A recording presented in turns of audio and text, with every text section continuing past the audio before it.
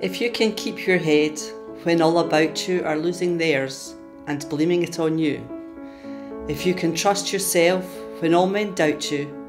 but make allowances for their doubting too, if you can wait and not be tired by waiting,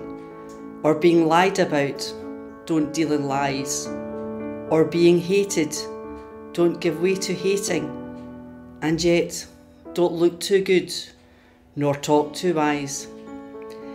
If you can talk with crowds and keep your virtue, or walk with kings, nor lose the common touch, if neither foes nor loving friends can hurt you, if all men count with you, but none too much, if you can fill the unforgiving minute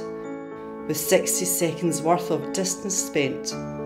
yours is the earth and everything that's in it, and which is more, you'll have integrity, my friend.